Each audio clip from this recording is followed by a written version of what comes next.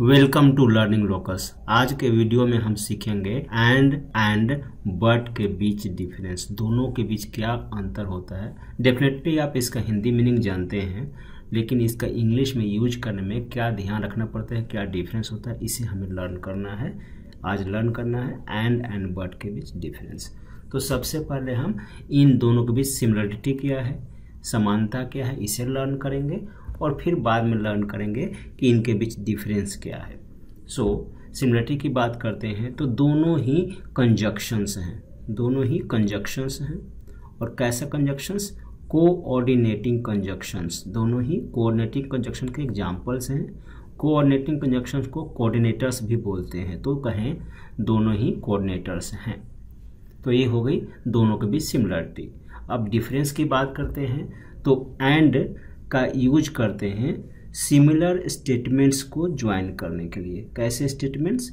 Similar को join करने के लिए। स्टेटमेंट्स में सेंटेंसेस सो सिमिलर टाइप के सेंटेंसेस होते हैं, उन्हें ज्वाइन करने के लिए हम एंड का यूज़ करते हैं।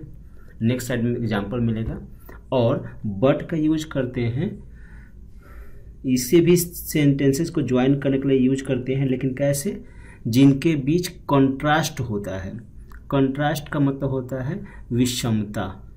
विषमता होता है सेंटेंस के बीच में, उनको जोड़ने के लिए हम बट का यूज़ करते हैं। अगर समता होगी तो एंड का और विषमता होगी तो बट का, यही डिफरेंस है दोनों के यूज़ का एंड एंड बट के यूज़ का। मूविंग टू नेक्स्ट स्लाइड यहाँ पे हम एंड के यूज़ के एग्जाम्पल्स देख लेते हैं। इसमें हमने लर्न किया कि एंड का यूज़ करते हैं सिमिलर स्टेटमेंट्स को ज्वाइन करने के लिए। तो देखिए, जोड़ कर दिखाते हैं आपको। I love to eat cake दूसरा स्टेटमेंट है I love to eat ice cream इन, ये दोनों ही स्टेटमेंट सिमिलर हैं। सिमिलर किस सेंस में है? आई लव टू ईट शुरू में है जो, दूसरा में भी आई लव टू ईट है। अब दोनों को हमें कनेक्ट करना है। तो मैथ जैसा ही आई लव टू ईट को अगर कॉमन ले लेते हैं तो आई लव टू ईट यहाँ आ गया। बचा क्या? केक तो केक लिख दिया और फिर एंड का यूज़ कर दिया दोनों को जोड़ने के लिए और जो बचा हुआ उसे लिख दिया आइसक्रीम तो यहाँ पर एंड की सहायता से सिमिलर स्टेटमेंट्स को कनेक्ट कर दिया। एक और example we shall stop at Kolkata we shall stop at Puducherry we shall stop at Pune तो सिमिलर स्टेटमेंट्स को जोड़ना होता है तो ज़रूरी नहीं कि दो ही स्टेटमेंट्स दो से अधिक भी स्टेटमेंट्स होते हैं, जैसा कि नीचे है। अब वी शैल स्टॉप एट ये तीनों सेंटेंसेस में कॉमन है। We shall stop at and we shall stop at so मान लिया मैथ्स के अनुसार इसमें कॉमन अगर हो गया वी शैल स्टॉप एट तो बचता क्या है? कोलकाता, फिर पुडुचेरी और फिर पुणे। तो कोलकाता कम्मा फिर पुडुचेरी एंड लास्ट में एंड से पुणे को लिख दिया।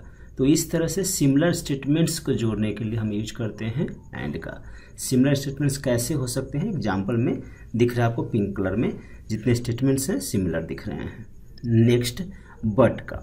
सो so, बट का अगर यूज़र्स की बात करते हैं तो हमने इसमें लर्न किया कि बट जो होता है ये ज्वाइन करता है ज्वाइंस ज्वाइंस ऐसे सेंटेंसेस को जो कंट्रास्ट जिनके बीच कंट्रास्ट होता है मतलब असमानता होती है विषमता होती है।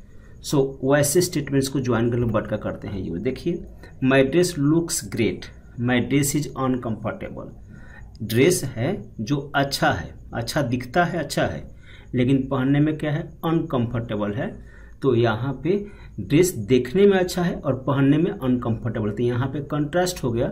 अब दोनों को कनेक्ट करते हैं तो वैसे ही मैथ जैसा ही। माई ड्रेस माई ड्रेस दोनों में कॉमन है।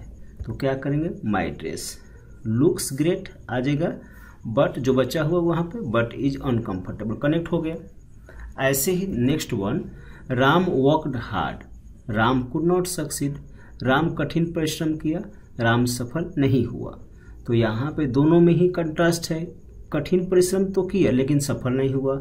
तो विषमता है। तो यहाँ पे राम कमन हो गया। राम फिर worked hard but could not succeed तो यहाँ पे आपने देख लिया कि यह हो गई बट का यूज़ तो इस तरह से हमने लर्न किया। एंड का और बट का यूज़ हमने लर्न कर लिया है। Thank you very much